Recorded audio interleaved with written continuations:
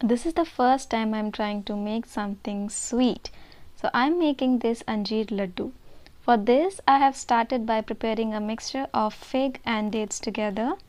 After that I've taken a pan, put some ghee and then roasted all the dry fruits whatever I was having. It took me about 10 to 15 minutes to roast it nicely. After that on the same pan I have roasted the mixture of dates and fig together and this took me about 5 to 10 minutes not more than that. After that I have mixed the dry fruit and the fig mixture together and kept it aside to let it cool down for some time. And make sure not to cool it down completely otherwise it is not going to retain the shape. And that is it. Take a handful of mixture and shape it out in the form of laddu and have it and enjoy it Make sure to like, share and subscribe to my channel. And thank you for watching